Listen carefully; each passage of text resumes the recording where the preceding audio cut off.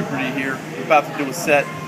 This is gonna demonstrate how you have to lead with the head and the upper back into the bar when you come off that box. When you have extreme, you know, weights that are moderately heavy like this, you need to band, band, see.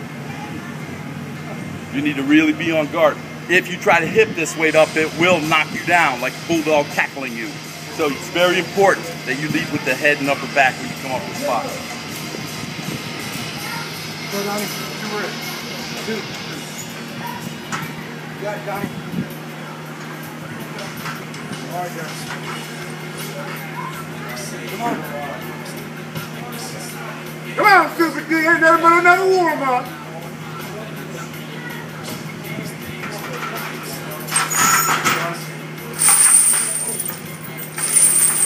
Come on.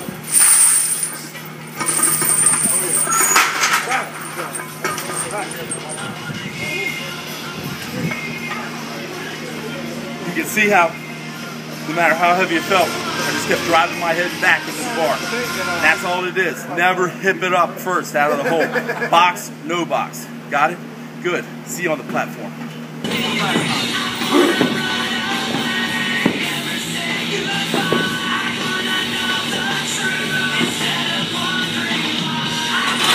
Let's go. Come on, come on.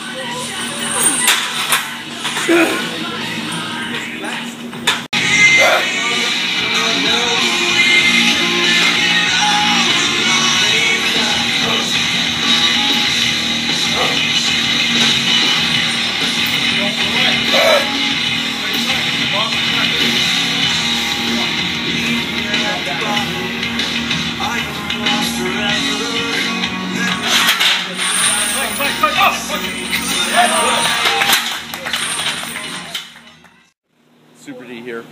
I'm about to do a max effort squat. You, you already did You already did a set. Wow. Wow. Big Rich. now, I haven't done these types of squats for a while. We'll see if uh, we can, the old man will pull off a single. This is all in the name of fun now.